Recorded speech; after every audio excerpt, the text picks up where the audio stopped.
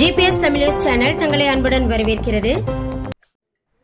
ஐக்கிய அரபு அமீரகத்தில் இணையவழி இலவச அழைப்புகளுக்கு தடை விதிக்கப்பட்டிருக்கும் நிலையில் அமீரகத்தில் உள்ள சில ஸ்மார்ட் போன் பயனர்கள் வாட்ஸ்அப் ஸ்கைப் மற்றும் பிற இணைய அப்ளிகேஷன்களை பயன்படுத்தி தொலைபேசி அழைப்புகளை மேற்கொள்ள முடிந்ததாக ரியூட்டர்ஸ் செய்தி நிறுவனம் தெரிவித்துள்ளது.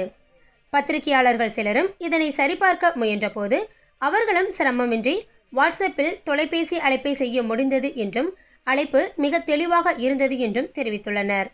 வாய்ஸ் ஓவர் இன்டர்நெட் புரோட்டோகால் எனப்படும் விஓஐபி சேவைகள் மூலம் தொலைபேசி அழைப்புகள் மேற்கொள்வதற்கு அமீரகத்தில் கடந்த சில வருடங்களாக தடை விதிக்கப்பட்டுள்ளது.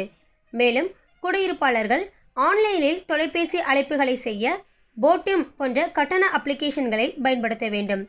இருப்பினும் மைக்ரோசாஃப்ட் டீம்ஸ் ஜூம் மற்றும் ஸ்கைப் ஃபார் பிஸ்னஸ் ஆகிய அப்ளிகேஷன் தொலைதூர வேலை மற்றும் கற்றலை செயல்படுத்த பயன்பாட்டுக்கு கிடைக்கின்றன.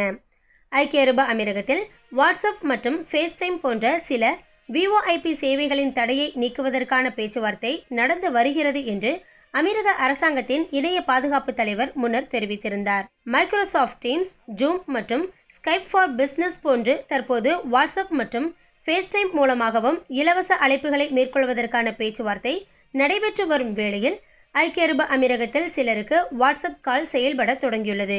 இருப்பினும் எக்ஸ்போ டுவெண்ட்டி டுவெண்ட்டி பார்வையாளர்களுக்காகவே இந்த இலவச அழைப்புகள் மீதான தடையை அமீரக அரசு நீக்கியிருப்பதாகவும் எக்ஸ்போ தளத்திலிருந்து வாட்ஸ்அப் கால் மூலம் இலவச அழைப்புகள் மேற்கொள்ள முடிந்ததாகவும் ஆங்கில செய்தி ஊடக நிறுவனமான ரியூட்டர்ஸ் செய்தி நிறுவனம் தெரிவித்திருப்பதும் குறிப்பிடத்தக்கது. மேலும் இது போன்ற செய்திகளை உடனுக்குடன் தெரிந்து கொள்ள தமிழ் நியூஸ் சேனலை சப்ஸ்கிரைப் செய்து கொள்ளுங்கள். கூடவே பெல் பட்டனையும் கிளிக் செய்து கொள்ளுங்கள் நன்றி.